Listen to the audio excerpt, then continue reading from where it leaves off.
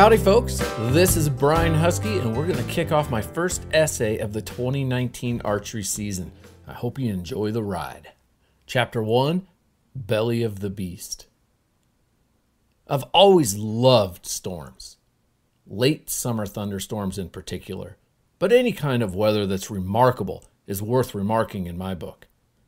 And as a little kid on the Oregon coast, I can recall a few instances when major storms would slam the Tillamook region, and the larger than life old growth trees of the community would occasionally be blown over. The devastating look of shattered wood and crushed surroundings was fascinating to me. With every enormous tree I'd gaze upward at, I'd imagine what it would look like to break or be uprooted and come crashing down to earth. It was simply the way that the mind of this young boy worked. And every time violent storms rolled in off the Pacific Ocean, I'd watch from our living room window at the row of towering hemlock that bordered the neighboring dairy pasture. The powerful winds forced the trees to flex and bend back and forth together like dancers on a stage. I would gaze in wonder as the branches would be pushed in unison to reveal straining tension in the undersides of boughs seldom seen. Sometimes I'd even pretend a tree was a giant fishing rod, and tied to it was a huge shark in the nearby Wilson River that pulled and thrashed from the end of the line. I remember one particularly rough and stormy night would have been in 1983 or 4, I'd guess. My father was a state trooper, and late that night he'd stopped home on break. Running out to greet him in my PJs, I was so excited to ask him if any big trees had blown down. As a patrol officer, he was made aware by radio of anything happening in the region, and he reported back to me that there were indeed several large trees down that were blocking various roads and highways. I asked with beaming excitement if in the morning he would take me to see. And that next day, I jumped out of bed like it was Christmas morning, put on my shiny black rubber boots. Indulging my excitement, my dad drove us around through the receding floodwaters to see workers cutting remains of huge trees from local streets. I was enthralled by the disruption storms could cause in toppling trees and flooding rivers.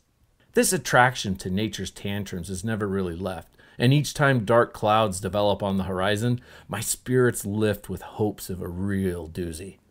I don't really watch broadcast TV, but I'm aware there's a show, maybe even a profession called storm chasers. I may have missed my calling on that one.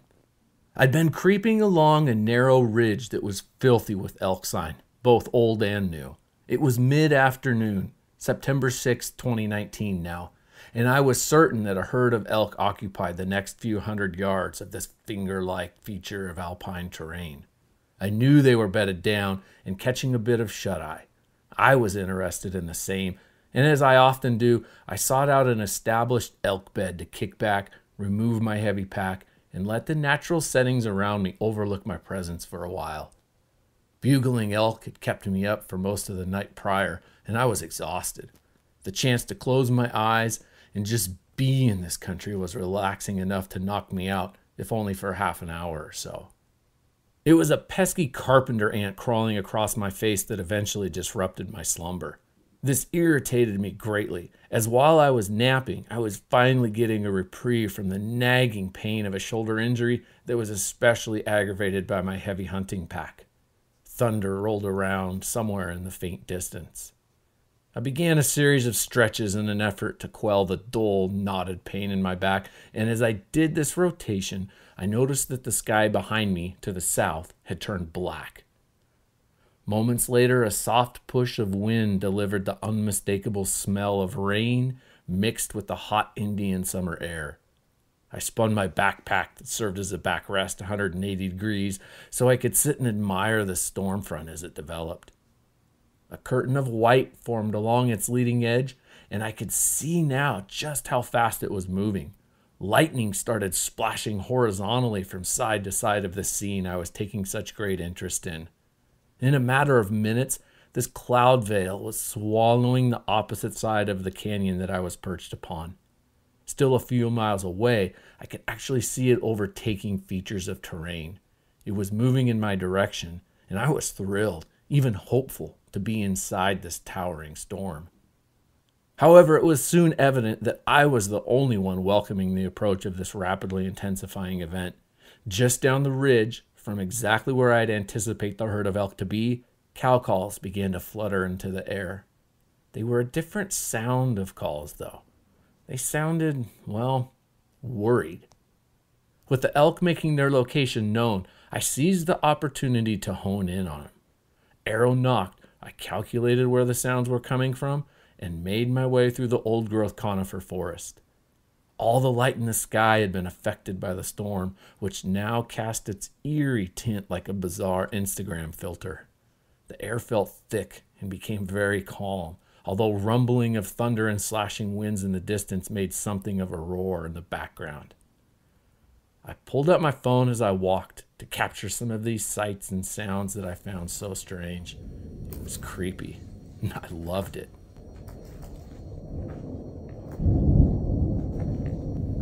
Passing between two large boulders, I emerged to spot the telltale tan color of elk bodies about 80 yards ahead of me.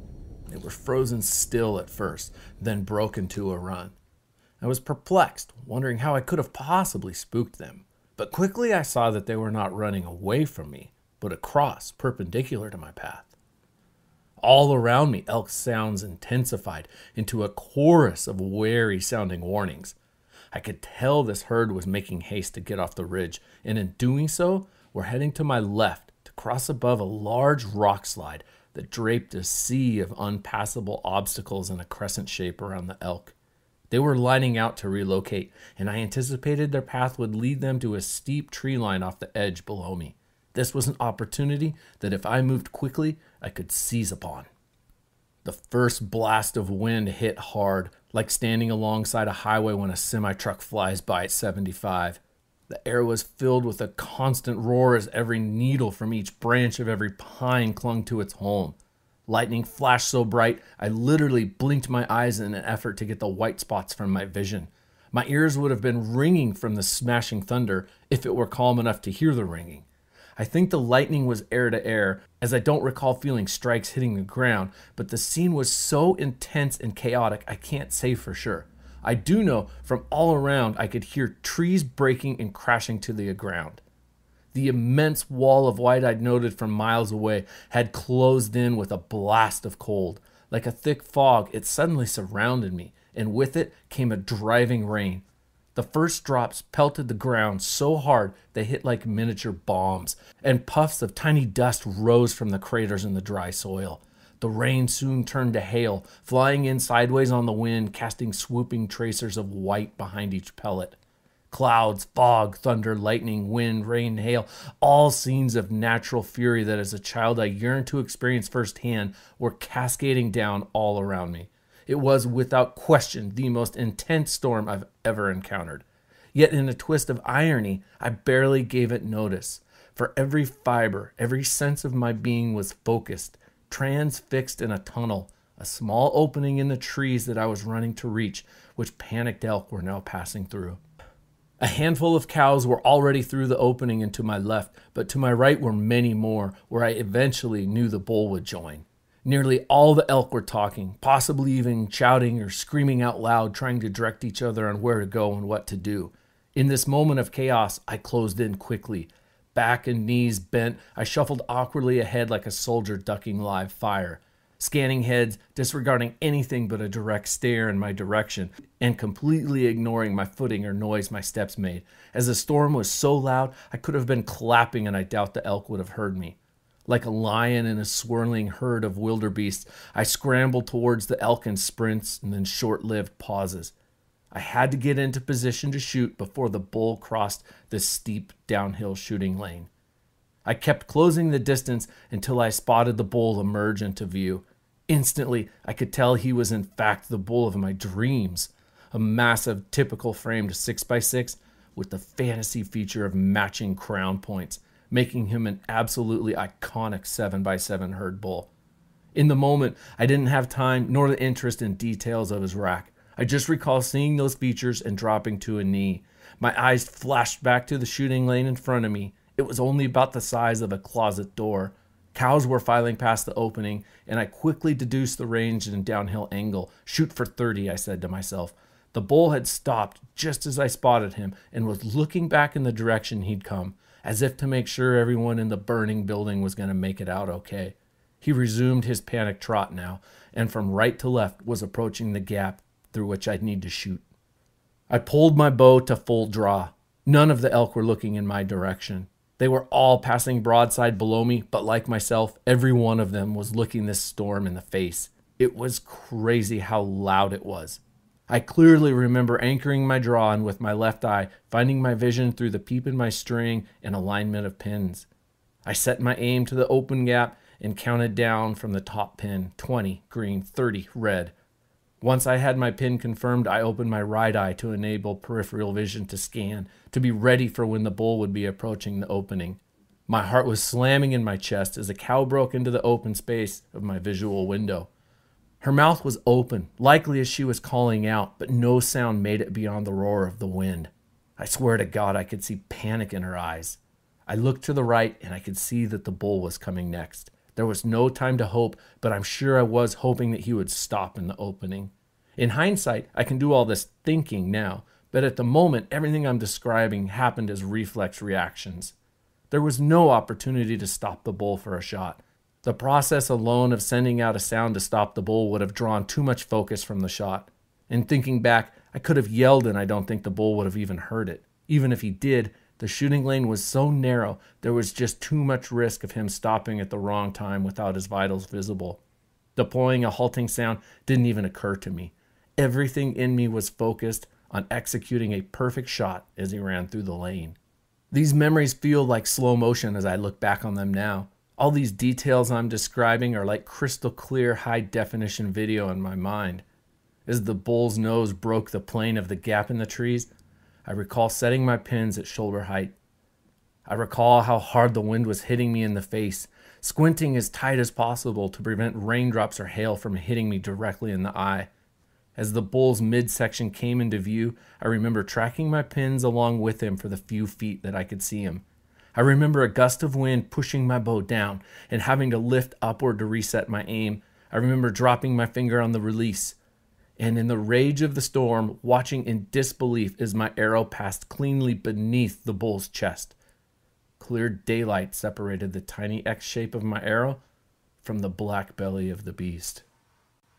And now we roll into chapter two of my 2019 archery elk season called Royal Crown. The bull gave a small jump and kicked up his tempo, although with no idea of what, if anything, had happened. My arrow had just zinged beneath him, and I think he had a sense of some sort of close shave. He and the cows around him continued their frantic scurry off the exposed ridge. I didn't have time to consider what had happened to foil what should have been a slam dunk shot. The elk were still unaware of my presence, and I was right in their midst with the violent storm, providing multiple layers of cover for me to take advantage of. Yes, I could have nocked another arrow and almost certainly selected a shot from any of the many elk yet to pass through the window. But this bull was incredible, and without hesitation, I swiveled to my feet and started running parallel to the herd. The break of the ridgeline and mix of timber and downfall gave me just enough cover to pursue the herd as they continued their way down the hill. I was pretty much able to run as fast as I wanted, which was not very fast considering I was wearing a heavy backpack and carrying a bow with a nocked arrow. But I could make out glimpses of the herd as I rallied down the ridge, trying to get ahead of the big bull once again. I felt like Kevin Costner in Dances with Wolves. I was practically running within the bodies of elk the way he ran among the first herd of buffalo he encountered. With so much noise from the running elk, the thunder, and the wind, it felt like it was a free for all and a foot race. Everything was moving too, as branches fell from trees and pine boughs waved in a constant fanning of wind gusts. I caught another glimpse of the bull, such a monster. He was trotting downhill among the rumps of his harem. Wide and heavy, this second look at the bull and his rack sincerely stunned me from this behind perspective. Most notable, of course, were his matching crown points, at least 10 inches long, both protruded from the bases of his fourth points, known as the dagger or royal tines on an elk rack. A trait common among red stags of Europe, this crown feature on American elk is like a genetic artifact that very few seem to reveal. It's not totally uncommon, But this is the first time that I'd seen a crown point in person, much less a matching set. Back in maybe 2004, when calling for my buddy Adam, we encountered a crown point bull.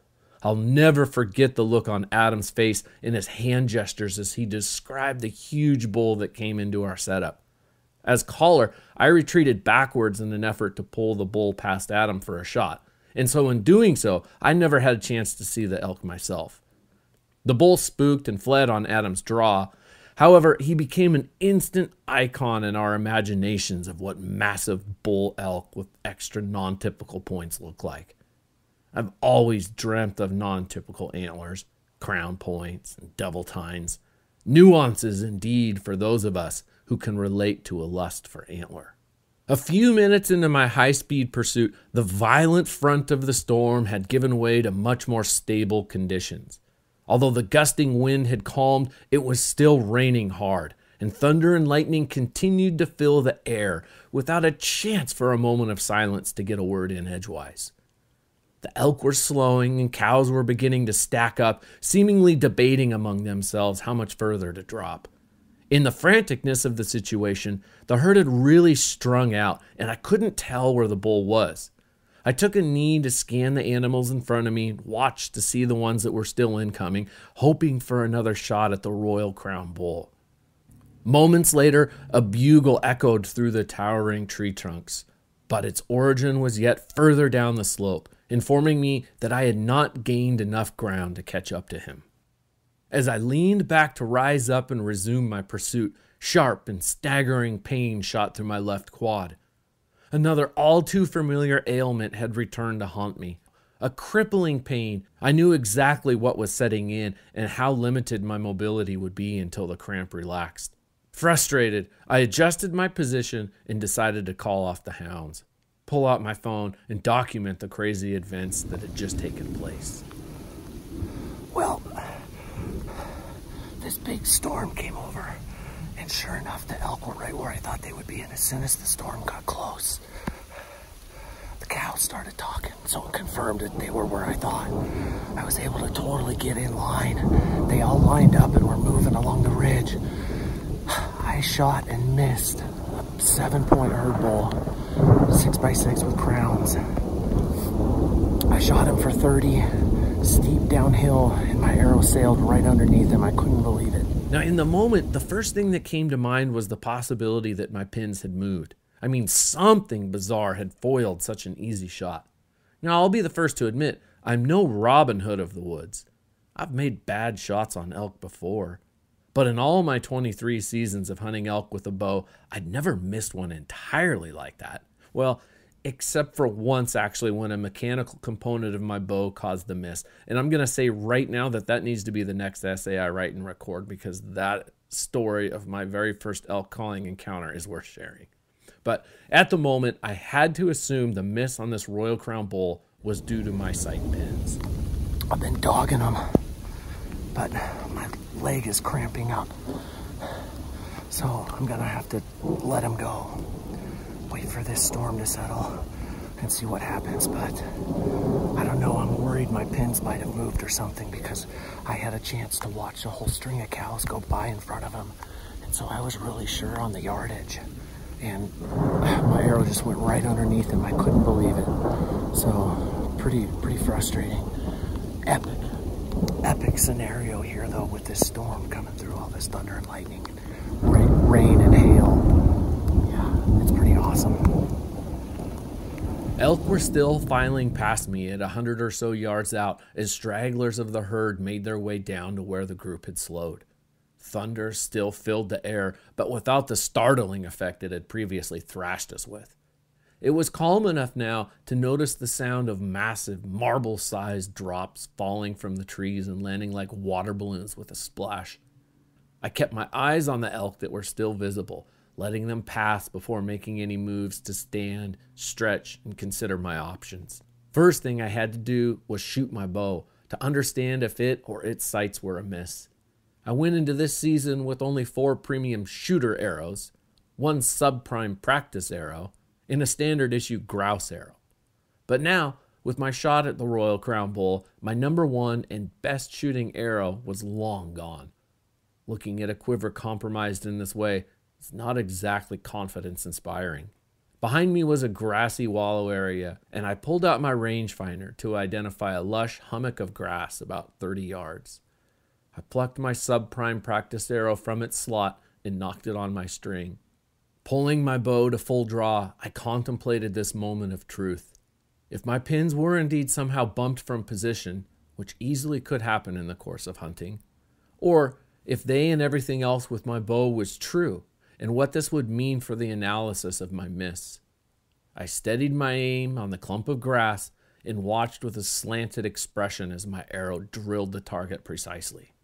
Well, that's certainly a relief that at least I don't have to worry about my bow, I said to myself, walking up to retrieve my arrow. Bending over, I studied where it had landed relative to my aim and confirmed the accuracy of this practice shot. Pulling the shaft from the grass, I blurted out a muffled, God damn it, as the shaft emerged with a shattered end minus my broadhead and half its length. I looked back at my quiver now in total disgust.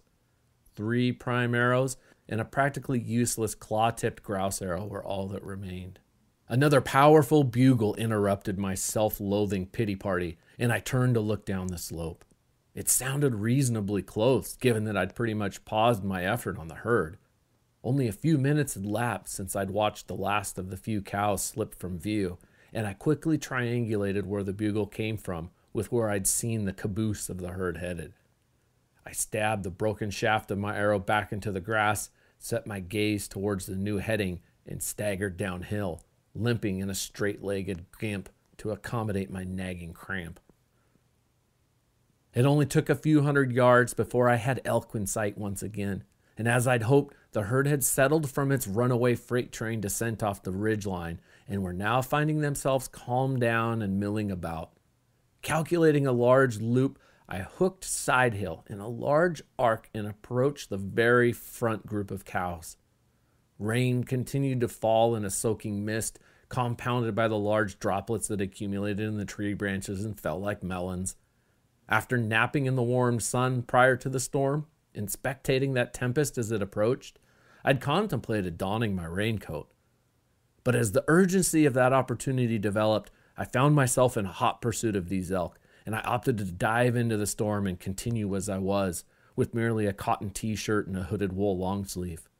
But now, as adrenaline had receded and the tempo of this stalk slowed, I found myself soaking wet and deemed a rain layer would be useless at this point. However, a short time later, as I crept into bow range of the leading group of cows, I found myself pinned behind the profile of a large tree trunk as cold rainwater drenched me to the skin. I longed for the layers of warmth stowed just inches from my body and my backpack, yet out of reach and a world away as I remained still to avoid being detected. Controlling shivers became an issue. Elk were mingling all around me, nibbling on various grass and leafy treats. I stood like a scarecrow nailed to the trunk of this centuries old fir tree. The weight of my backpack pushed relentlessly on my knotted and aching neck and shoulder. I swore I could feel the weight adding up from each raindrop that landed on my backpack, pushing harder and harder, stamping my feet into the ground like stakes. At least I'm still standing and no longer fighting my cramping quads, I told myself. But if you've ever been in this situation, you know. It can really suck to be inside a herd of animals and trying to stay undetected. An inch of movement can become a priceless luxury. Half an hour had passed, and I was nearly regretting the fact that I'd successfully positioned myself right where I'd been trying to get since this pursuit began. I had shot opportunities available on several cows, but the Royal Crown Bull, as I'd now settled on calling him, was nowhere to be seen. I was frustrated because initially, as I tracked the herd, he'd been running at the front of the group while I dogged the back. Now I'd made this deliberate leapfrog to get in front, and he'd fallen behind to the back. Minutes passed like hours, and all I could see were cows, soaking wet cows that I watched enviously as they shook excess water from their coats like a lab emerging from the river on a hot July day. They stretched, yawned, and chewed their cud as carelessly as could be. while I stood rigid like a crumbling statue, full of aching pains and trying to contain a quickening pace of shivers. It was plain that I was going to be here for a while, as the bull was nowhere to be seen, and from a fair distance I could observe any elk that wandered in my direction. My mind returned to the ridge and the howling wind tunnel in the trees I'd shot through. If it wasn't my bow, then how the hell did I miss so bad? The next conclusion following my pins moving was that, indeed, the wind. I'd never really considered compensating for a shot for vertical windage. But as I re examined the circumstances, I came to realize that was exactly what had happened. My shot was at a steep downhill angle, and as the wind was gusting down and head on, it all made perfect sense now. That my arrow had literally been pushed down, like your hand out the car window when tipped just slightly. Once that fierce wind nudged the point of my broadhead off course, its trajectory was exponentially doomed with each yard it traveled. I recalled the gust as I was taking aim and how I had to lift my bow to get my pins back up on the bull's midsection. Watching my arrow fall so far below the target replayed over and over in my head. I came to grips with the fact that I'd missed because of my failure to compensate for such a strong headwind. But it all happened so fast, I didn't necessarily feel like I'd made a mistake, although it was certainly something I'd learned from. It's simply a risk of shooting at a moving target through a small window. The shot was reflex, with timing entirely out of my control. I was eternally grateful that I missed him altogether and didn't miss him in the guts. A 30 yard broadside shot is not normally rocket science, but in this case, all the clues I was adding together were forming an analogy that felt very much like exactly that rocket science. And I imagine the searing heat of rocket thrust trying to keep my teeth from chattering. Looking back now at my GPS data, from the time I engaged the elk on the ridge to where I stood at the moment, the temperature had dropped 22 degrees. Water dripped down the inside of my legs. Royal Crown was nowhere to be seen. The situation was tough, but I was not at all deterred by the fact I'd missed. I was still hunting this bull, and every moment presented new opportunities for me to find success, and what had already transpired really didn't matter at all. Every moment of a hunt is an opportunity, as long as you're willing to stay in the game. When the atmosphere around me finally did shift and swirl, it was a yearling cow who bedded down 40 or so yards below me that first caught danger on the wind. She was not even the elk closest to me, even in that direction. So I was impressed to see her nose the first one to begin the telltale bouncing, scooping motions of alarm. By this point, I was actually relieved the encounter was over. Between shivering from the cold and cramps in my shoulder and legs, I was physically and mentally beyond the limits of where I'd like to continue such a high stakes venture. I was ready to call it off at this point and let everything reset. It took what felt like forever for all the elk to get out of my hair. It was driving me crazy as I so desperately needed to move to get the pack off of my back and warm up. But it was also important not to spook the elk any harder than necessary, so I remained perfectly still. Finally, maybe five minutes later, the last of the elk had sprinted past me and regrouped in the main herd, which of course returned to the area where the bull had remained the whole time. Along with this commotion came the expected resumption of bugling as the community discussed what was going on and what to do next. I was surprised to note that besides a single spike, Crown Point was the only bull. This is exceptionally strange to me for a herd of 30 to 40 elk to have only two bulls, much less only a single branch antlered bull. Even as Crown Point bugled, all the mountains around were silent, not a peep from any ranging satellite bulls, as I would certainly bet should have been present and responding to this invitation for dialogue. The sunshine felt like a warm blanket, and along with my steady tempo marching uphill, getting my blood pumping again, life returned to my body and soul. The storm had passed, and the sky was beginning to look like nothing had happened at all. A herd of elk were moving on to their next location, sending updates along the way as I listened to Royal Crown light up the mountain air. And then another sound stopped me in my tracks. I imagined it stopped every one of the elk in their tracks too. Wolves. Apparently, the temptation was too great, and following all the ruckus, the controversial predators made their first announcement since I'd been in this new area. I stood with my eyes closed and listened hard to the various voices of the pack harmonizing within their chorus. A smile bent my lips. Then something remarkable happened. Contrary to all the anti wolf propaganda I've ever encountered, Royal Crown fired back at the wolves with a defiant bugle. I wanted to bugle back at the wolves too, and howl with them. Hey there, folks, this is Brian Husky in chapter three of my 2019 archery hunting essay. I'm jumping back in time a little bit with this chapter, reflecting on the circumstances that led me to the mountains where chapters one and two took place. So it's a bit of a skipping around in the timeline, but it'll all tie back together with where we left off in chapter 2. So here we are with chapter 3 High in the Mountains. Dry hole cost. It's a phrase that a wonderful and influential old timer in my life named Jack introduced me to. How much I'm willing to invest in any given venture before pulling the plug, as Jack described it. It was a term often used by oil drilling outfits, considering how long to drill before pulling out and trying someplace else. I contemplated various angles of this question when last December's elk hunting daydreams pressed me. Just where were my new daydreams going to take place? Should I stick with the zone I'd hunted the last two seasons? The area had more than enough elk, but hunting pressure was clearly trending in the wrong direction. I mean, how long was I willing to gamble each time I rounded that final corner to reveal a quiet, unoccupied parking area or a dozen rigs? Man, I can feel the tension of that moment in my guts just writing and talking about it now.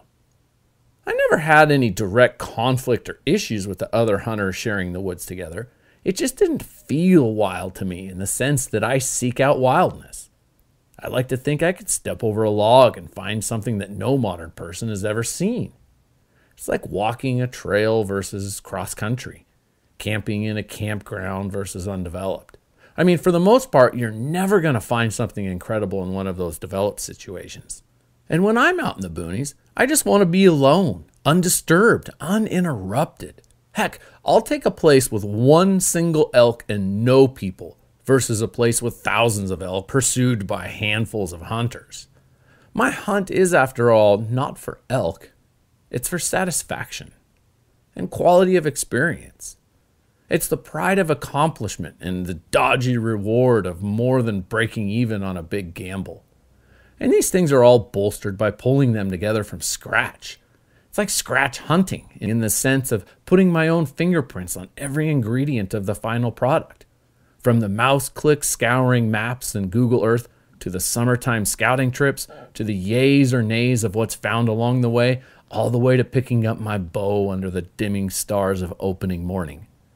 These are all elements that I love about being a do it yourself solo hunter, and each element has added tremendously to my past experiences. Opportunities to talk with several of the newcomers last season gave way to understanding of why the strange uptick in hunting pressure occurred. The folks I talked to described how they had each reached out to Fish and Game biologists in the region who directed them to this particular area. It was a reality that I could understand, although I found incredibly unlucky given that I'd been there for one season in that spot with almost no other people or vehicles encountered before it turned into something of a zoo.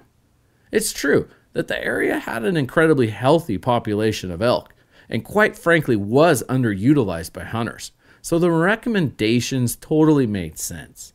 I accepted the circumstance and reluctantly, once again, let go.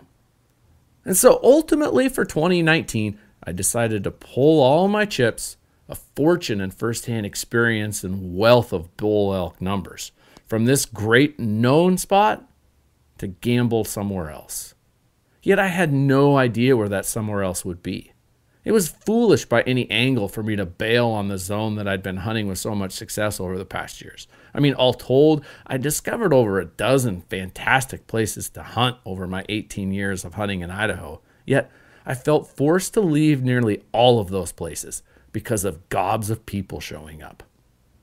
So the early months of 2019 found me pondering where to go next. And by July, the honing process was well underway. Places I'd explored on Google seemed like sure things. I took extensive measures reaching deep into the backcountry. From my computer screen, I'd venture miles up dirt roads, more miles up single track trails, more miles cross country, up thousands of feet of rugged ridges to what I would have guessed would be elk nirvana. And when I got there in person, I found nothing. They sucked. There were strange observations along the way, well established and beat down game trails without any tracks, old bleached rubs, but none from recent years, zero sign, old or new. Not even old crumbly white elk shit could be found. And then I found it fresh tracks from a pack of wolves. I was sincerely perplexed. How was it possible for such incredible habitat to be totally void of elk? I mean, yes, there were a handful of elk. Reaching the mountaintop meadow where I'd actually spotted herds of elk on Google Earth, I did indeed find a group of cows. And that's where the wolf sign was. But the fact that in all these miles of getting there, passing through what I'd absolutely call perfect habitat, I didn't see a scrap of sign was troubling to say the least. I was at a total loss for explanation. During the epic 12 hour trek, I kept repeating in my head that it seemed shameful to be in such incredible habitat that was totally vacant of critters. Maybe the wolves really had knocked the shit out of the elk in these areas. Maybe I'd just been lucky that in all my previous seasons of hunting in Idaho, the wolves had just not yet taken their toll on the respective herds that I was sharing with them. I pondered a slice of humble pie, sincerely considering if I'd been wrong all along in dismissing the anti wolf community as simply ignorant haters. During this period in late August, I almost caved. I considered returning somewhere that I knew there were elk, albeit a grip of hunting competitors, too. This initial scouting trip had left me skeptical in my decision to relocate. My second venture into promising looking elk areas left me flat out depressed with the lack of elk sign, much less actual elk. But the thought of seeing headlights appear in the valley below me as I packed my bag and departed my camp one more time scared me straight. The memories of ATV motors rumbling in the distance triggered a gag reflex. I couldn't go back to where I'd been hunting. My resolve was locked, and pulling up stakes is something I'm all too familiar with. Plus, I've always described how hunting season is the time of year when I can really get out and explore this great state I call home. It's when I can find interesting places, variations of landscapes, transitions of vegetation, get new soil under my fingernails, and come to know more of Idaho. Sure, I could have almost 20 years of experience if I'd been hunting the same place at this point and have the elk patterned and understood so well, I'd practically be shopping the aisles of a familiar grocery store each season. While there is great appeal in knowing how to hunt an area that well, I do what's ironically least productive for my hunting success. I seem to move every time I really get a spot figured out. But I do feel like I'm searching for something, and one of these years I'll find a place that I can call the spot. A place so great I'll deem it the best, and look ahead to taking my kid or kids there when they are old enough. That is, I suppose, what I'm ultimately searching for. I think. So, the archery season of 2019 did indeed find me packed into a whole new area for my elk hunt. I'd loaded my pack with tent, sleeping bag, and pad, my small burner stove, food and water, and all the fixings of a backcountry spike camp. I was excited for lodging in the midst of elk I would be hunting. Getting an especially heavy load up to the elevation where I'd hoped to camp was a great and worthwhile effort. What a joy to be sitting at my camp, glassing the surrounding canyons as the sun set, a time that I'd often be commuting back to camp somewhere I'd parked my truck. Elk began to bugle as soon as darkness fell, and by 2 a.m. I'd still yet to fall asleep. I was simply too excited. I'd begin to doze off, but a distant elk sound would trickle into my tent and I'd pop up wide awake like I'd been slapped in the face. By early morning, a storm began raging outside, and sheets of rain pelted and lashed at the rainfly. The rain seemed to surge over my camp in waves, like an exposed rock along an ocean beach. Wind and rain would engulf my tent for a few moments and then recede to quiet. During these quiet periods, I could hear elk, apparently unbothered by this weather. Each time the storm would pause, I'd listen hard and hope the storm had passed. But each time the rain would return, and I'd cuss the disruption of getting to listen to the elk and imagining what was going on. Then I'd also hope that the final push of rain had passed and it would start to calm and dry off outside. I certainly was not hoping to spend my day hunting in the pouring rain and returning to sleep in a soggy sleeping bag. But no such luck. It was after two when I'd checked my watch last, but I did eventually doze off to sleep. By 5:45 in the morning, heavy rain woke me up again, and I simply gave up on sleeping. Very much to my surprise, the elk were still partying outside despite this weather that felt appropriate more for the Oregon coast than this Idaho high country. I sat upright in my sleeping bag, getting fully dressed, packed, and ready to roll, listening to all the manners of the elk socializing. I heard bugles from several bulls, some mature and some very immature sounding. I heard cows chatting, bickering, and meowing.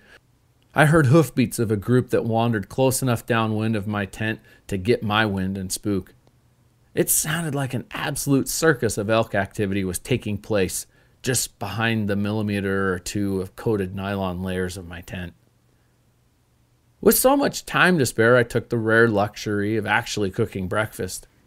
Sitting in my tent in the dark and out of the rain, I arranged my tiny burner just outside the tent door and fixed up a triple helping of oatmeal.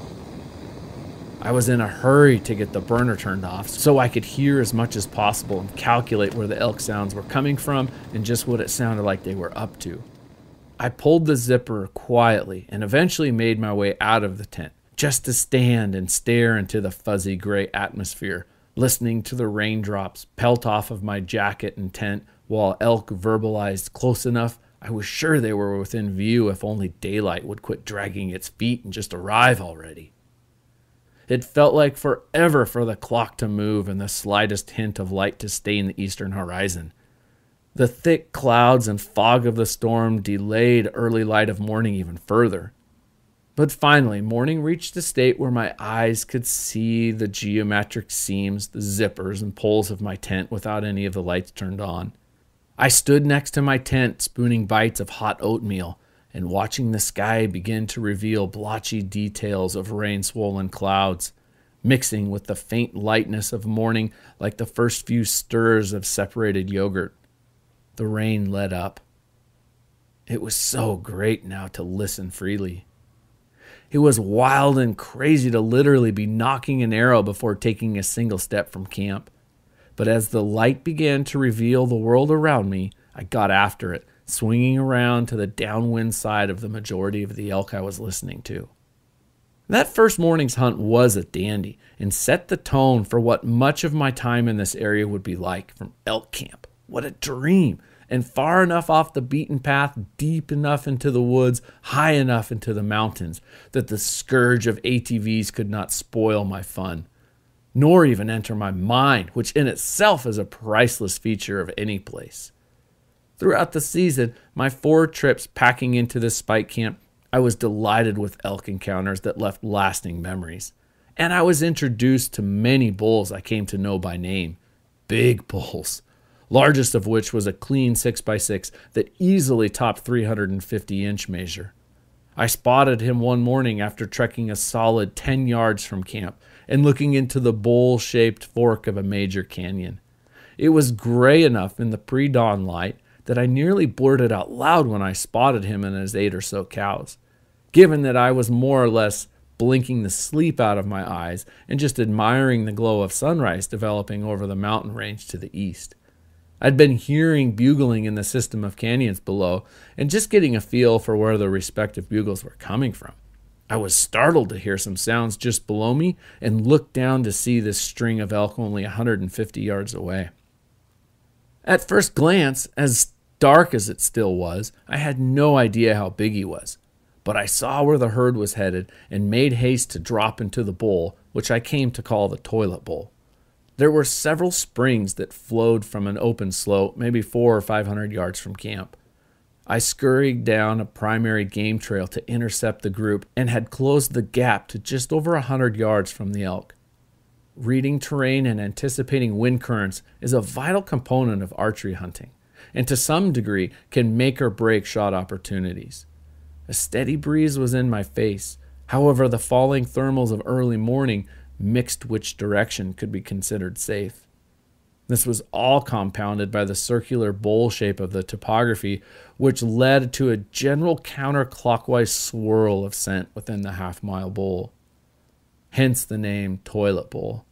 I watched in disgust as the cows began to lift their noses into the air, learning of my presence and sounding the alarm to flee the area. The cows lined out and ran, with the bull in tow. I watched in amazement as I came to realize just how huge this bull indeed was, given that when I initially spotted him, I guessed him being nice, but not a huge bull. I pulled my camera from my pack and took some video of this magnum as he bugled and casually followed the group of cows he was obligated to follow, even though he never actually caught my wind himself. The next day found me settled near a spring a few miles from camp. It was mid afternoon, and a host of physical ailments prompted me to take a break from covering ground. I'd picked out a perfect blind location, centered inside a cluster of trees with perfect shooting lanes into the grassing meadow, which a cold spring fed water seeped from. My pack served as a perfect reclining pillow, and following an hour or so in this position, I dozed off to sleep. Dreams were beginning to take over my thoughts when I was startled back to consciousness by the sound of a blue grouse flushing. My thoughts instantly recalled earlier in that day when I'd observed a group of elk flush grouse, something that I'd pondered and taken note of, previously wondering if grouse held or flushed by passing animals that they knew were not a threat to them. So, as the grouse woke me from my nap, something's coming was the first thing that ran through my head. And knowing now what I'd just seen, that it could indeed be elk. I sat up and repositioned myself over my bow that was leaning against the tree next to me. Sure enough, within moments, a cow elk rose into view from below where I'd heard the grouse flush.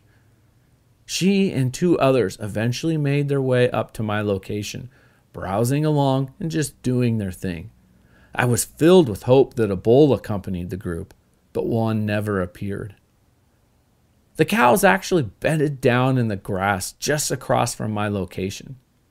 Not wanting to shoot a cow yet at this point in the season, I enjoyed their company as live decoys, if nothing else, hoping a bull would join them.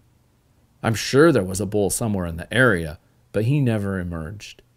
I was grateful for the learning opportunity, though, and this new awareness to listen for the sound of grouse as indicators of approaching critters. So, what about those wolves I mentioned at the end of chapter 2? I have come to form a hypothesis on the subject, for what it's worth, and I feel pretty confident in my findings. Without taking the time to do any research or get exact timelines, I'm going to throw some approximate numbers out here, so keep that in mind. But my brief history of wolves in Idaho goes something like this.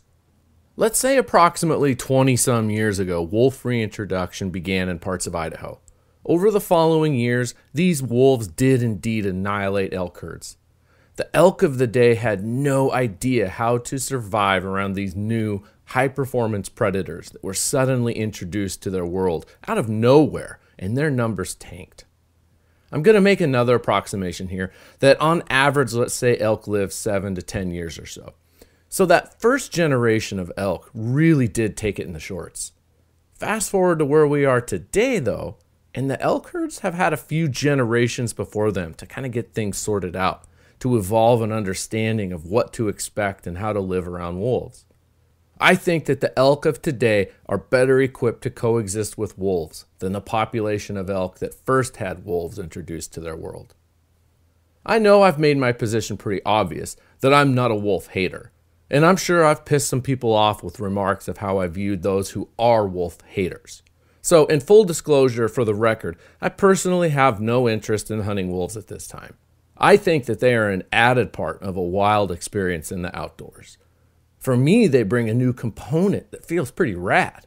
But it's totally true that I have a hardcore predator hunting background.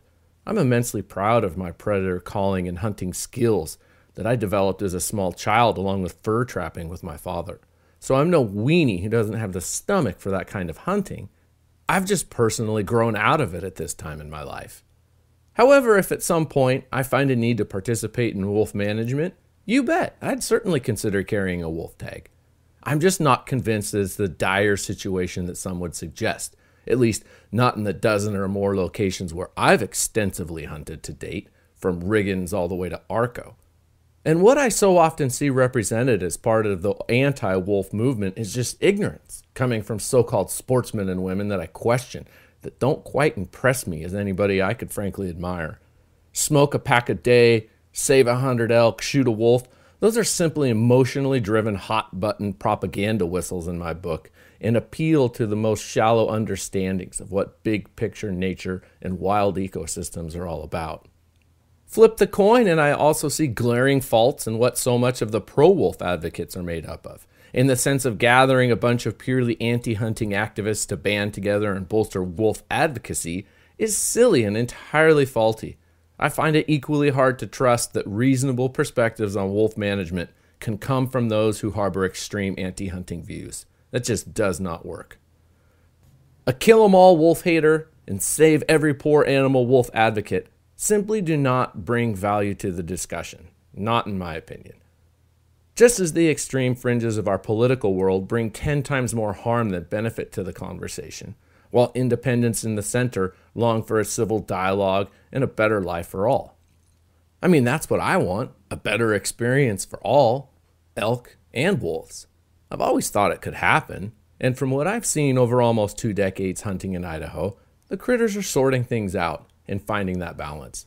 So, following my season hunting in an area renowned for being overrun with wolves, my takeaway is that the elk numbers are rebounding. From the longest lasting form of elk sign, that'd be rubs, it was evident to me that in this area there were more elk present this year than last. I saw far more fresh from this year rubs than all of the past one, two, three year old aged rubs combined. And I listened with my own two ears as bull elk bugled back at a pack of howling wolves. And to that topic, I observed elk rutting behavior as good as any I've encountered at any time in any part of the state. The elk were not silent where I was at, and wolves were present, just has been the case in every other place I've hunted so far in Idaho. I can totally buy into some level of impact, of rutting disruption over those first generations that encountered wolves. But I think the elk and nature as a whole knows what it's doing. And paired with hunting as a carefully managed tool, everything's going to be okay. Over the following days and trips to my toilet bowl, well, actually, I should call it the punch bowl spike camp, I never saw that huge six point again, although I stayed busy engaging different bulls and their harems of cows on a regular basis. I never encountered mule deer like I'd hoped to find at this high elevation paradise, due in part, I suppose, to the especially tough winters of late. It's ideal looking big buck habitat, and I'd expect that with time they'll repopulate eventually. I didn't ever lay eyes on the mountain goats either, although I did see goat tracks and sign on a regular basis. I did enjoy the surprise of a lone bighorn ram appearing above camp one night, something I was incredibly surprised, delighted even to see appear in my new favorite place, my happy place, high in the mountains. Until next time, thanks for listening and coming along. Coming up in chapter 4, we'll head back to the Punch Bowl camp as I bring my good buddy Ian along for what will be my last trip of the season. I hope you'll join us. Okay, howdy, folks. This is Brian Husky here with chapter 4 of this uh, 2019 archery elk season. And uh, hey, just wanted to say thank you to the folks that have uh, sent uh, emails or texts or whatever um, letting me know they enjoy hearing about this stuff. That means a lot to me, and it's definitely a driver for me to keep doing uh, what I'm doing and telling these stories and sharing them with uh, with the audience out there that likes hearing them. So thank you for that. And uh, yeah, here we go. Off to chapter four. Uh, this is called Reckless Precision. It was September 24th now, the final full day of my final trip of the season.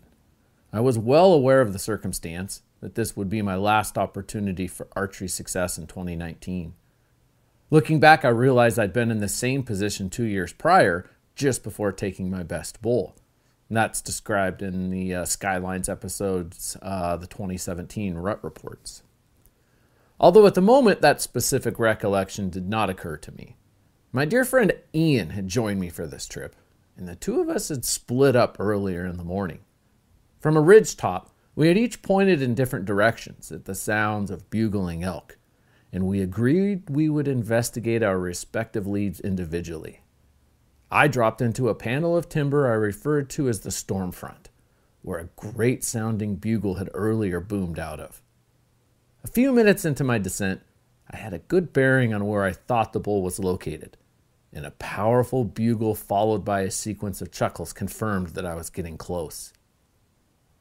I slowed my pace to 90% creep and set my eyes to 100% scan as I carefully stepped my way through the thick timber and downfall. Minutes later, I'd advanced a hundred or so yards, and like an airliner coming in for landing, lowering its flaps and landing gear, I reduced my speed even more and nocked an arrow. And I bumped my eyes to 200% scan.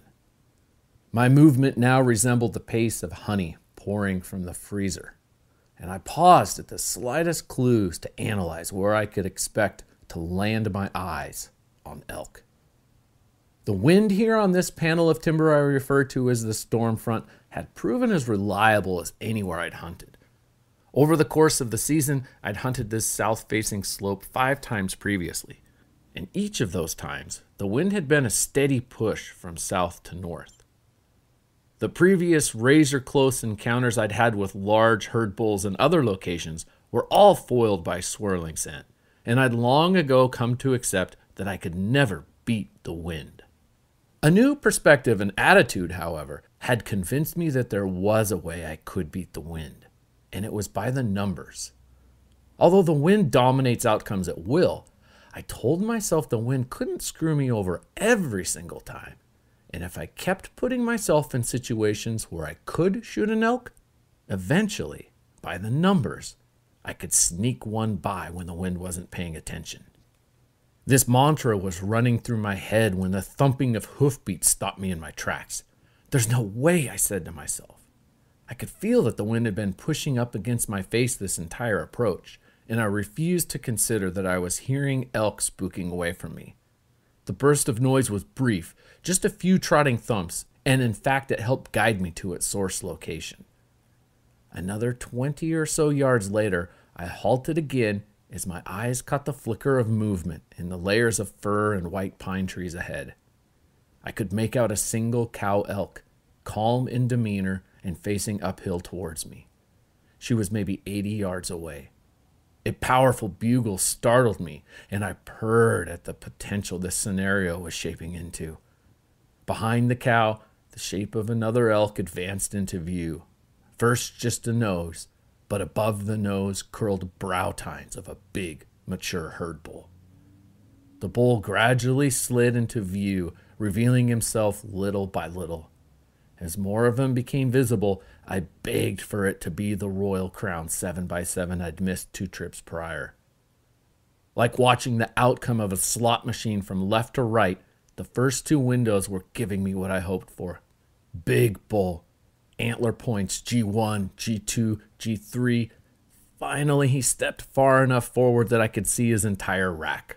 A bold 6x6 emerged, minus the stunning crown points of the bull I was hoping that he was. All the same, it was hardly an actual disappointment.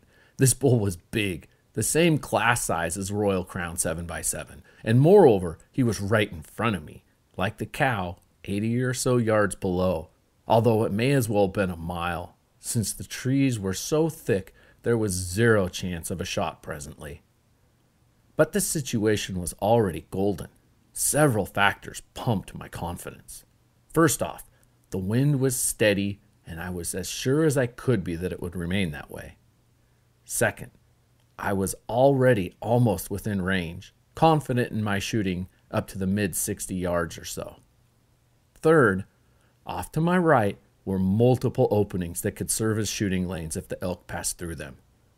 Straight ahead and to my left was less promising. A single lane extended out to maybe 50 yards, but it was very, very narrow and had a sprawl of dead branches above it that could be problematic in allowing the arc of a longer distance shot. Right in front of me was a pretty open lane, although it only worked from about 10 to 20 yards deep, and it had a large tree trunk right in the middle of it. Fourth factor was there appeared to be only these two elk. The rest of the herd could be heard milling about much further down below us, along with another bull whose bugle was slight and fluty. From the air, I could imagine that this herd was dispersed among this timbered slope, with the herd bull and his cow at the far uphill perimeter. And that's exactly where I stood.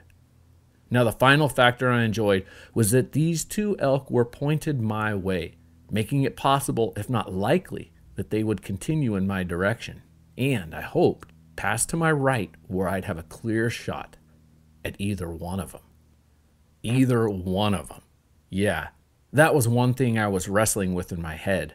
The fact that given this was indeed my last hunt on my last day, and I would take any elk at this point, even this cow. The thought of shooting a cow with a herd bull right behind her was uncomfortable to say the least. Not unacceptable, but certainly made me squirm.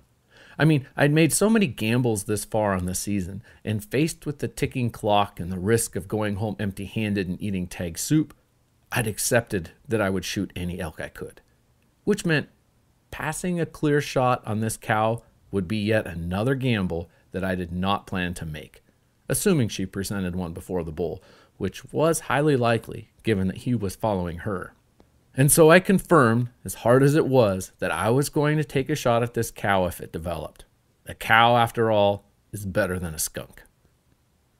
From where I stood, I could only make out small patches of each animal. I could see a foot here, an antler tip there, ears flickering, and such. I studied the ground ahead of me intently. When considering shooting lanes and opportunities, inches matter, and decisions are based on variables that are just too hard to guess. If I try and advance to step towards the elk, I'll only lose this shooting lane in front of me, and then I might have to go about 10 yards before it looks like there might be another opportunity for shooting lanes over here and there. Yeah, staying put, I knew I had this one micro lane at my 12 o'clock and several more at my 2 and 3 and 4 o'clock positions. If I tried to move closer, I'd be forfeiting the lanes that I had with only a hope of other lanes at all. I felt like a chess player studying the board and imagining possible outcomes of moves two and three, four moves later following that. My eyes were not convincing me that better positions were feasible. The twig snapped under my boot. It felt the size of a toothpick, and simply shifting my weight caused its crisp report. Ears perked to attention, and the gaze of both the bull and the cow locked on my direction. There is no way I am moving, I said to myself. Fortunately, the bull was far more interested in the cow than any tiny squirrel sized sounds trickling through the woods. He pushed up closer to her now, invading her space and prompting her to trot a few strides uphill. And yes, closer to me. His disruption overrode the tiny sound that I'd made, and both elk resumed at ease activities. At this point, the cow was advancing closer to me in the shooting window at my 12 o'clock. She was around 30 yards at this point, and just to the right of the narrow open space. But both elk were clearly on leisure time. No rush to move or to do anything besides just stand there, sniff the air around them. Blocks of five, even ten minutes passed with the elk just standing there. None of this really bothered me. I have the patience of a granite boulder when in the company of elk. But aches and pains in my body were marking time by the second. Other than shifting weight from one foot to another, I had not moved now for over half an hour. Just for fun, try standing perfectly still for half an hour sometime. It sounds easy, and at times it is, but in full disclosure, I carried with me this pesky ailment this jacked up back and shoulder that J. Peterman from Seinfeld so eloquently described as one gargantuan monkey fist. This fist of knotted rhomboid muscle had been haunting me since back in August. At home, I could deal with it. A quick internet search of the condition described extended computer desk work, rowing, overhand tennis serving, and heavy backpack use as primary triggers. Check, check, check, and check. All season long, I'd been walking around the woods with my right elbow up in the air, hand gripping the center loop of my backpack. This was the only position I could temporarily relieve the knotted, cramping pain that accompanied every minute I wore my heavy hunting pack. For each mile upon mile I'd covered all season, this was my default form. Never comfortable, but the back and forth pattern I followed would usually keep my whining groans at bay. That and a lot of ibuprofen and Tylenol. But now, besides holding my bow vertically with the arrow nocked right in front of me, the dull, tightening Charlie horse in my neck and shoulder was consuming my body, my posture, my form, and my focus. I was beginning to sink beneath the weight of my pack, sagging and compressing like melting ice sculpture in the sun. I needed to stretch. I needed to get this pack off my back. I just needed to move. All these distractions were going through my head as the bull and cow continued their dance, their romance, as nature would have it. He was courting her after all. And once again, he made another advance, charging up behind her, testing if the moment was right. But once again, the cow trotted ahead, preventing the bull from getting a chance to mount. This latest surge pushed both her and the bull right through my only shooting window at a rate and angle I didn't even consider attempting a shot. They were now both past my 12 o'clock shooting lane, safe in the thick tangle of trees that filled everything from my 6 o'clock to 12 o'clock. Yet they were even closer than ever, each within 30 yards of where I stood. But again, it may as well have been a mile. And to make matters worse, they were both now pointed squarely to my left, meaning that any continued steps would be away from me now at this point, and away from any chance at a shot, and easily gone forever. The silver lining of all this was that I now felt I could safely and very slowly squat to the ground and remove that groaning weight of my pack from my shoulders. Doing so provided little relief, but at least the weight was gone, and I took time sitting on my heels to recompose my focus. This was fortunate, as the bull had seemed to sense my activity, and as I was in the process of rising back up to my feet, I was able to spot a tiny few inches of his outline through the tree branches, and he appeared deadlocked on me. Fifteen or so minutes later, his fixation on my location had eased, as the satellite bull from the rest of the herd I'd almost forgotten about sounded off a bugle. As king of the woods, the bull before me fired back as if to squash any doubt that he was still right here, just outside the orbit of the main herd and present to any challenge of his dominance. This exchange tempted me to enter the conversation. Able to slowly rise to my feet, I stood tall and enjoyed the opportunity to roll my shoulders and slowly rock my head fore and aft, side to side. I felt the shape of diaphragm calls in my pocket and contemplated putting one to use. It's interesting to take note of how much elk like to hear noises. While spending this time so close to these elk, I noticed that any time either the bull or the cow would make a significant noise, a hoof clunk, branch break, rock roll, or whatever, the satellite bull below us would bugle at the sound. Likewise, any slight commotion below us would initiate a vocal response from the big bull. Elk hear everything. At one point, I shifted my weight, and for the second time, I swear it was nothing more than a few pine needles softly breaking under my foot. It was barely even audible to me. The reaction and ear direction from both elk snapped to attention and scanned for the source of the sound. I don't think many hunters realize how much animals can hear. And as annoying as they can be, I count pine squirrels as the archer's best friend, given how much noise and racket they make, and how often elk must write off audits of sound to their noisy neighbors. I'm so close. crazy close. If I were to either bugle or cow call at this range, the bull would have to investigate, right? He would close the short gap between us to confirm if I was a willing cow or a rival bull. In doing so, possibly step through a shooting lane. Or he and the cow would bolt and all opportunity would be lost.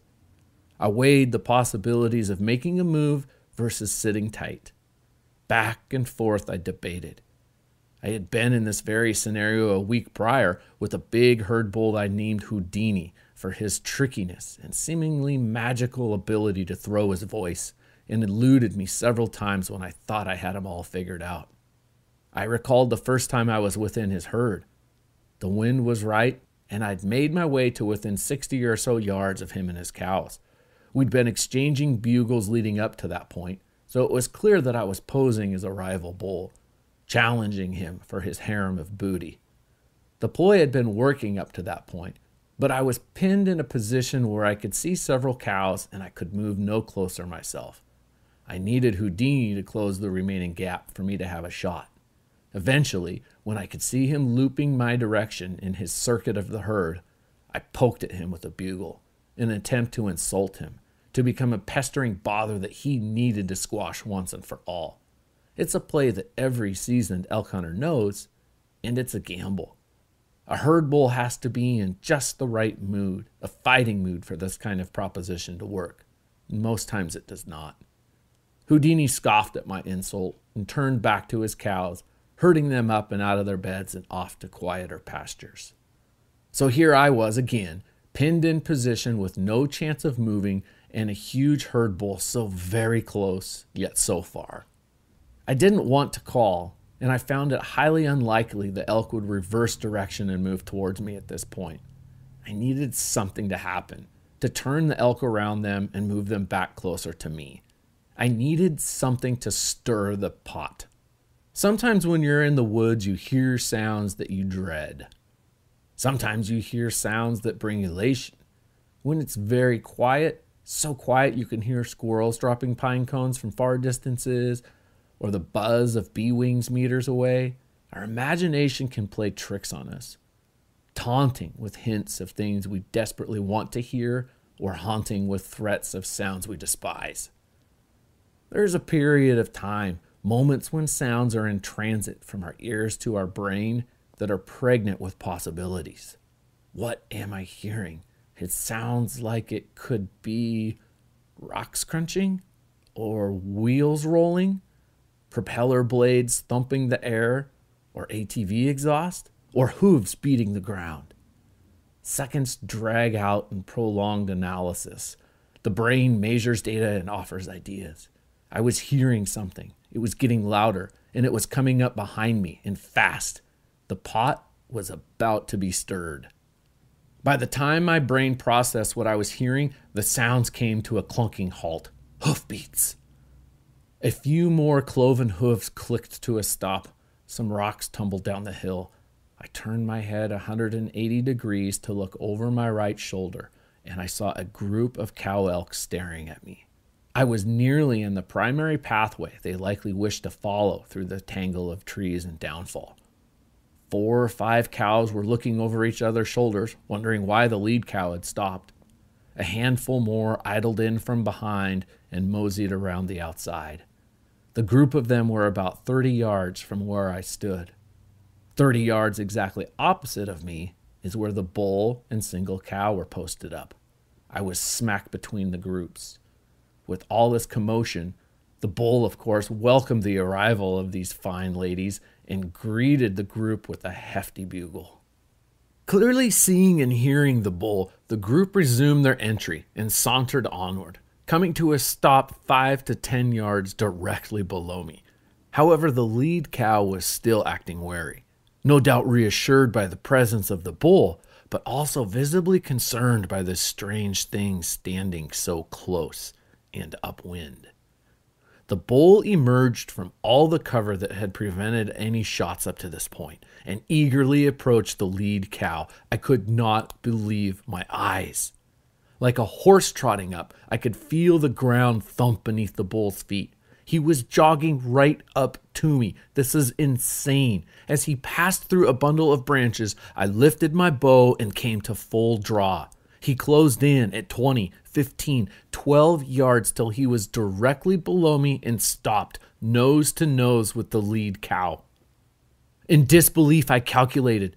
This huge bull I'd been watching was now broadside in front of me at 12 yards away, with a large tree trunk completely blocking his vitals. I've never been this close to a big bull before. It was truly an intense feeling. The bull was absolutely transfixed on the cow, who was completely transfixed on me. You see, as the bull was approaching, she totally saw me draw my bow, but had to have been confused, overstimulated by the fact that this veteran bull was not alarmed and he was jogging right up to greet her. So she and the other cows stayed put and did not spook on my draw. The bull was starry eyed, gazing at this fresh group of cows, while my vision probed the tree trunk boundaries of his natural shield that he'd accidentally stopped behind. Could I sneak an arrow around the left of the tree and get in the back of his lungs? Or maybe just trust at this range my arrow would penetrate his shoulder blade if I could tuck a shot just right of the tree trunk. But God, what if my shot were to stray at all and graze the tree? Maybe half an inch on either side of the tree would work, but I concluded that these options were simply unacceptable. This was brutal. For like 30 seconds, the stalemate lasted until finally the bull came to recognize that this cow was completely ignoring him and locked on me. He turned his head and locked on me as well. And I had no shot at any of them. Another 30 or so seconds passed and nobody had flinched. At this point, the entire group of elk had sensed danger thickening the air. I felt the burn of every elk staring at me, picking me apart in ways that I was a foreign object and did not belong where I stood. With each second that ticked by, the tension escalated, reducing the likelihood the bull would leisurely take the single step I needed for a shot, and more likely that everything was going to erupt in a chaotic mad dash away from me. I imagined no chance of getting a shot in that scenario. And that scenario was exactly what happened next. Like Olympic divers shooting from their blocks, the elk lunged in unison through the web of trees, branches, brush, and arrow deflecting objects of the sort. I recall sidestepping to my left, squatting at my knees, and bobbing my head side to side, trying to find any clear lane through the trees in which an arrow could pass. I located the zone that looked somewhat clear, and it was small, but it looked somewhat open enough, and more importantly, it was in the path of where the bull was charging. I just needed him to pass through it. Blurting out loud, my goat bleats begged the bull to stop, but to no avail. This encounter was plainly too close to coax any of the elk to halt their barging dash. While holding full draw pose, my left eye tracked the bull's massive body through the tiny peep in my bowstring, while my right hand navigated the needle point sights of my pins, attempting to land pins on tan hide. Like the fighter pilot scenes in Top Gun, except there's no missile lock that grabs and holds the target once moused over. In my periphery, I sensed this pursuit approaching the single lane that a shot could be possible. I slid my pins off the running bull and ahead to the narrow opening. He was running directly away for the most part, however, slightly angling to the left and approaching the hole I could shoot into. Just as necessary, he entered that precious slice of negative space in a scene otherwise littered with arrow stopping wood. I remember his huge light beige body surging up and down as he ran, getting my pins aligned and ahead, knowing I had to lead his body for the running factor in order to land a shot behind his shoulder. I continued bleeding like a goat as he slowed to a jog and looked back slightly at this perplexing sound. My finger dropped, opening the caliper of my release once again, and I watched in seemingly slow motion as my arrow sailed through the mountain air. Launching an arrow is a moment of suspense, like shooting a basketball from half court watching that arc unfold, the anticipation of where it will land when its up then down path comes to a stop. Early senses get a read if the shot is lined up. We've all heard or described knowing that a shot is good from the moment it leaves your fingers. But as the basketball falls, that's where it gets tricky. Backboard, airball, rim, or net. The sound of an all net swoosh is in fact similar to the sound of an arrow hitting its mark. Like something of a snap, slap, or slurp, the sound can have a note of wetness or the crack of snapping bone. As the trajectory of my arrow's path fell into the shape of the bull's outline, it disappeared. Audio chimed instantly with a slapping wet report. As he crashed away through the timber, a tiny mark appeared. Somewhere midway up his body is all I could really tell. I thought it was a little high and back, around the last of his ribs, maybe. One thing was certain I knew I hit him. And based on the angle and the center mass location, I knew the strike was fatal. I dropped to my knees, quickly set my bow on the ground, and pulled the hood off my head so I could cup my ears with my hands and listen. Crashing and thumping hooves filled the air, and though my eyes were closed, I imagined what was taking place. Sounds of running elk faded, and then all quiet resumed. Moments later, another barrage of sounds crunched and crashed through the air, followed by a crescendo of hooves fading, falling further and further into the void. I could paint pictures in my imagination of two different outcomes either that of the bull losing his feet and falling to the ground, dead, or that of him resuming his retreat from the area with a mortal wound and uncertain eventual outcomes. I'm no stranger to this situation or all the emotions associated with it. Thirteen times before, I've watched my arrow disappear into bull elk. Results and outcomes have varied. I've never watched a bull hit the ground. I've never even heard one hit the ground for that matter. But I've listened to all of them beyond where I could see. I've seen my arrow land in bulls in places I thought were absolutely perfect and yet never recovered them. I've seen my arrows hit in places that instantly filled me with regret, and with a few I've been uncertain exactly where my arrow went. Each time I've dropped to the ground to focus on listening for clues, take stock of the situation, and get myself grounded in reality in measure of optimism. My shot could be called reckless but it was executed with precision. I know what I'm doing. I am, in fact, a veteran elk hunter, archer, and marksman. Experience has led me to a place where I can call myself these things. And every shot at a living animal is reckless, as we do not absolutely control outcomes. We can only try our best for the desired results. We apply our skills, our best intentions, our hopes and dreams to harvest wild animals whose fate is to leave this world eventually in ways worse than bullet or arrow, yet rarely considered. When the moment arrives, we take our shot with reckless precision. Okay, hey there, folks. We're back with the fifth and final chapter of my 2019 archery elk season. This chapter is called Luck of the Draw. There is a saying I've always repeated in my head during encounters with big game don't look at the antlers. It's a reference to keeping your composure and staying focused on executing the shot without the distraction of what the rack looks like. It totally makes sense, and in many situations, I've left myself yearning to know more about the rack following the encounter, or in some cases, the shot. Like any hunter, I want to let my eyes admire the critter, including its rack. I want to let my eyes scale each inch of antler. I want to imagine what it would feel like to grip those antlers in my hand.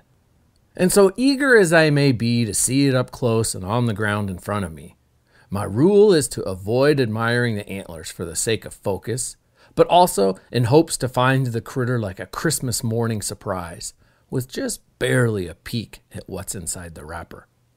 With so much time in the presence of this big bull, Frankly, after several minutes, I had nothing but time and eventually began to peel back the wrapper a bit and start to admire this bull's rack. His main beams were strikingly long and heavy, even at the ends. His left G5 had a unique curve to it, something I knew I'd be able to recognize and identify this bull with if I saw him again. He was a real beauty, wide, long, and heavy enough well over 300 inches, he was a grand representation of an upper middle class herd bull. But the way the circumstance had unfolded, I found my likelihood of a shot at this bull very unlikely. I still get excited. Lots and lots of adrenaline flows with the anticipation of shots. But I've noticed with the last few bulls, I've managed to stay much more composed than compared to the earlier days of my hunting career. I recall situations long ago of being so freaked out I could barely think, literally a deer in the headlights looking through my sights, and too panicked to comprehend pins, yardage, and such. Trying desperately to steady a wobbling aim is a feeling I can hark directly back to. And it's one of the things that first time hunters can never really prepare for. Unfortunately, adrenaline throws a lot of shooting practice out the window. As this big bull came trotting up and the realization sunk in that my shot opportunity was materializing right before my eyes, it was sudden. And despite spending so much time admiring the bull's rack, I was able to hold my focus and maintain vision to find a shot opportunity and executing it to the best of my ability. And it ended up being the greatest shot of my life. And Ian and I struggled to figure out how it even came together. You'll notice that I just mentioned Ian, after earlier describing how he and I had split up earlier that morning. Well, following my encounter and eventual shot, I let the dust settle, and then I began my signal calls, hoping that Ian would pass within earshot and we'd be able to meet up. Blaring off double cow calls every few minutes, I moved up the slope a ways to where I hoped that Ian could hear. And eventually he did, and signal called back to me. I was so stoked to make that connection and that I knew that he would come down and be part of this process and experience with me. Ian has been one of the few people I've hunted elk with on and off here for the past 10 or so years. He's an experienced hunter, although a bit green still in his archery elk career. He also carries a traditional bow, a huge chunk of self imposed challenge I've yet to bite off myself. But those traits aside, he's just the kind of guy that everybody loves a tall, dark, and handsome beacon of positive energy and witty laughter. Always an asset and never a liability. Ian has always been a great friend and in all sorts of ways, from fatherhood, fishing, garage beers, and all around just positive life perspective. Our wives are great friends. Our kids are great friends. We're neighbors even. So when he's not off refing college football in September, he'll take extraordinary steps to make it out for even just a day or two in the mountains. So, remember in the last chapter when I mentioned needing something to stir the pot? So, yeah, and like I described in that previous chapter, we'd split up, with Ian following a ridge line down to where he was hearing bugles, while I dropped off the side to pursue the bugles that I had heard. Following our departure, we both got into elk. And I'll just let Ian describe what happened with his encounter. I was walking down the finger, and like I can just come up with whiffs of elk, and I'm looking down, and there's like fresh piss, fresh poop, fresh piss, fresh poop, and I'm like smelling it, smelling and I can hear people. I'm like, all right, I think I'm like 150 yards away, and I come into about 100 yards, and I'm like also just like creeping in. And I had just taken like I was taking like three, four steps at a time and stop and look and listen. And I just I started taking some steps, I heard a crack. And I was like, so just one pop. And I stayed there for like 30 minutes listening, looking, waiting, and like 30 minutes later, I was like, I decided to give just a tiny cow call. And there's nothing was like, wow, I'm gonna go see it. I, they couldn't have smelled me. The wind was in my face the whole time. I took three more steps, and like all of a sudden, crashing. Like elk went that way. I saw a few cows like bust left toward you. Did you happen to catch that? Group of cows bust left toward you? But I stopped and like took a video, and I was like, oh shit! Like I just busted the herd out. They didn't smell me, but I know you're over here. I saw some animals come this way. And I was like, I hope they go by Brian. Elk, I'm sure, knew very well where each of these herds were located, but Ian and I sure didn't. So I suppose it's not at all surprising that when Ian bumped that herd off the finger that he was on, that when those elk bailed off the edge, they lined up to join up with the herd that I was standing among. But for me, this was incredible luck. And the timing of everything to maintain restraint and sit tight for just as long as I did, deferring on the coin toss to wait and see what the elk presented as opportunities on their own. And the way this group of cows trotted in just yards behind me and stirred the pot, pulling the bull right in front of me. Now that is some serious luck right there. Luck of the incredibly good kind. And then I was, you know, like started heading out. I was like, I'm gonna go to the spring, and I heard your your double cow call that we agreed we were gonna meet up with, and it was down here. So I was like, well, they probably ran by him, and he knows they're busted out. And I come walking down, dude, and your face was just like, and I was like, looked at you, I looked away, looked at you, you're like, I look away, I'm like, what? I'm, I'm about ready to start apologizing. you're like, I have my backpack, I have my bow. I'm like, dude, you on. And so now with this chapter break, we entered what is arguably my favorite part of this saga the tracking. First things first, we attempted to figure out how the heck the shot came together. Looking through the 12 o'clock window that I'd shot through and trying to recreate where the bull was standing when my arrow connected with him proved more confusing than clarifying. In fact, trying to align a shooting window with the bull's tracks, we never ever even got the puzzle pieces to fit right. At least not without cramming parts together or bending a corner off here or there. To this day, I still can't wrap my head around how the shot came together. Off, and he's like, I'm out of here. And he whirled and ran straight down. And as soon as he was running straight down away, I started goat bleating. Bat, bat, bat. And he just shuffled enough sideways. He went to the right side of those two dead sticks, went to the right side, or those, that, those two leaning and as soon as he did that, he turned just enough of a little bit of a quartering angle and looked back at me. And I sent it. It was a good quartering away shot, but my arrow came in. I'm a little worried because it's high, but it came right in and sunk. I mean, it was just. So um, now we're going to begin what's typically my favorite part of hunting, and that is following a blood trail because I love the CSI aspect of tracking.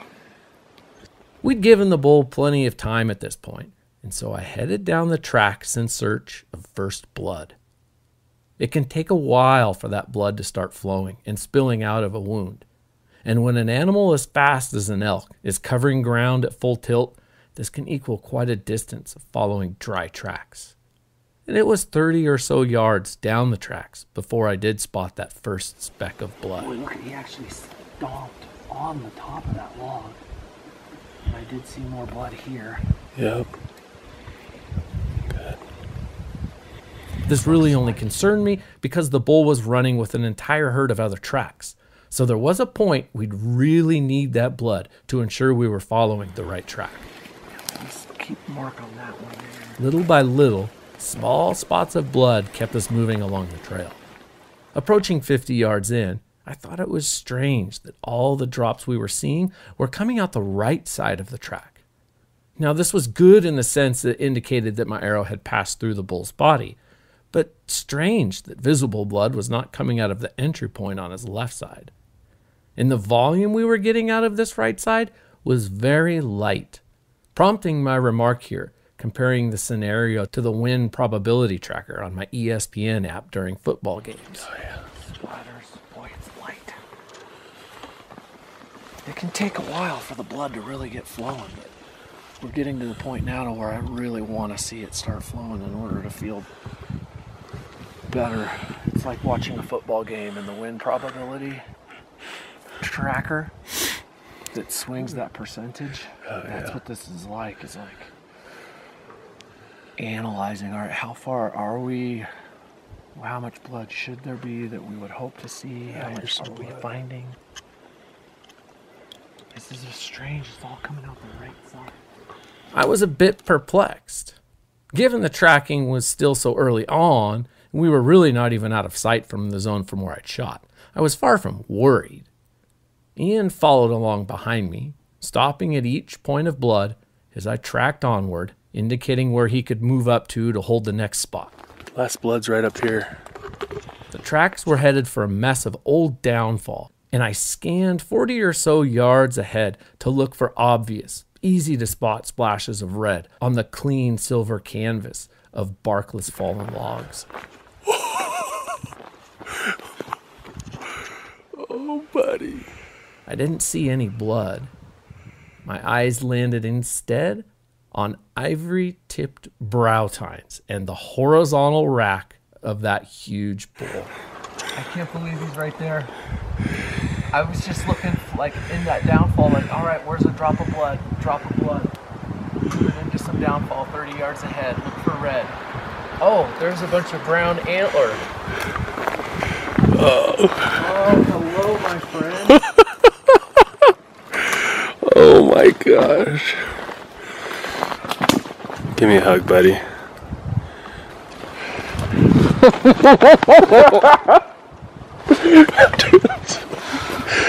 oh. Great shot, dude. This is not Crown Point. This is not the bull that I shot at and missed. Second week of the season, but this is another really nice herd bull. I'd officially arrowed another herd bull and my largest bull to date. And like a number one rule that I've always had is like, don't look at the antlers. But after like the first couple of minutes, when you're just trying to wait for a shot opportunity, then all of a sudden they're just like sitting there. You kind of got nothing else to do except look at the antlers. and I broke my own rule. And I spent a long time with my eyes looking at these antlers and imagining what they felt like as they were swinging around the top of his head as he was staying hidden in the behind branches where he was so close but there was no possible way I'd have a shot. And look at that whale tail. How awesome it just ah, you just want to like bite them there. There's this visceral feeling of holding on to antlers that you've been looking at. It's just like the solidness of the experience that's I don't know how to describe it. Taking an animal home is a fundamental of success.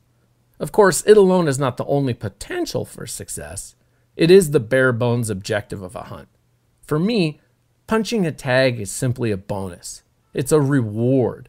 It's not necessarily a statement of any prowess or achievement because harvesting big game is so dependent on luck. And luck is something that's totally out of our hands. No matter how good or bad we are, or how hard we've trained or practiced, what level of hunter we presume ourselves to be or wish to be perceived as. To me, it's a reward that either good luck made happen or bad luck missed, and I slipped one past the goalie. I say this because I've struggled with monumental, mind bending streaks of bad luck in the past. And I'm no better hunter today than I was 15 years ago. It's just that I've skated by with five years of good luck now. Prior to that, I agonized swallowing 10 consecutive seasons of bad luck and smashing defeats. In the final years before that streak was finally broken, it began to feel like a curse. So disruptive, it made me feel foolish for trying harder and harder each season. It made me feel like success in the field was entirely out of my hands, and the more effort I poured in, the more laughable it was for someone or something. Walking around feeling cursed is not awesome. I can say that firsthand, especially for someone who doesn't even believe in curses. I've heard sayings to the effect that luck is where hard work and preparation cross paths. I certainly agree that the more things a person is doing right, the better the odds are that the desired outcome can happen. But I've seen enough archery elk encounters in my time to know that no matter who you are or what you do, luck always holds the final card. So you better pick up that trash someone else couldn't be bothered to pack out. Smile and shrug when the inattentive driver cuts you off in traffic. And just be stoked for the things in life that catch your attention and remind you of how lucky you are. That's what I'm trying to do. And with 10 for 10 big game tags punched now in a row, I'm thanking my lucky stars every night. I'm Brian Husky. Thanks for listening and coming along. Okay, friends, that's the wraps on the 2019 Archery Elk essay.